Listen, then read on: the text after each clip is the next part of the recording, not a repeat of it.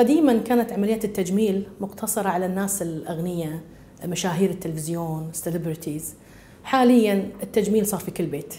كل واحد إنسان طبيعي عنده فلوس ما عنده فلوس متعلم غير متعلم يسعى إلى التجميل ويسعى إلى الكمال. اللي لاحظته ان في العيادة أعداد الرجال اللي يسعون إلى عمليات التجميل قامت مو تساوي تصير أكثر من من عدد أعداد النساء. أغلب العمليات الرجال عندنا ظاهرة التثدي. كثر إن الشباب يروحون النوادي الصحية كثر الكل يسعي إنه يكون مفتول عضلات وعضلاته كبيرة.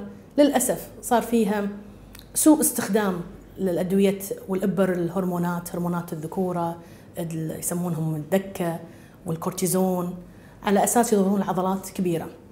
شنو صاحب الموضوع هذا؟ أثر إلى لخبطه في هرمونات جسم الذكور فصار يطلع معاهم ثدي خلايا ثدي نساء في صدورهم. فبدا الموضوع يسبب إحراج للشباب إنه هو بالنادي مثلا لابس اللبس عنده ثدي طريقته يعني شكله مو حلو حتى في اللبس مو حلو فبدأوا يسعون إنه يصحون هذا الخطأ.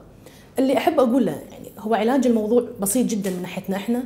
عندنا بجروح بسيطة نقدر نسوي شفط أو استئصال لهذه الغدد وحلها جدا بسيط. المريض يلتزم بلبس الكورسيه الطبي بعد ثلاثة شهور وينتهي من المشكلة. اللي احب اقوله إن التأثير هالهرمونات اللي يأخذونها والأبر اللي يأخذونها تأثير لها يعني مجالات أخرى بعيد المدى. يعني يسبب العقم يسبب أمراض في الكبد. فنصيحتي للشباب إن استخدموا الوسائل الطبيعية لإبراز العضلات بالرياضة بحمل الأثقال. ال short cut اللي يسوونها انه ياخذون إبر يسوونها مضرة. عندنا نسبة كبيرة اللي اعمارهم بين ال 30 وال 40 أصحاب السمنة المرضية المفرطة. لما يسوون عمليات السمنة ويفقدون جزء كبير من وزنهم خلال فترة قصيرة ينتهون بالترهلات.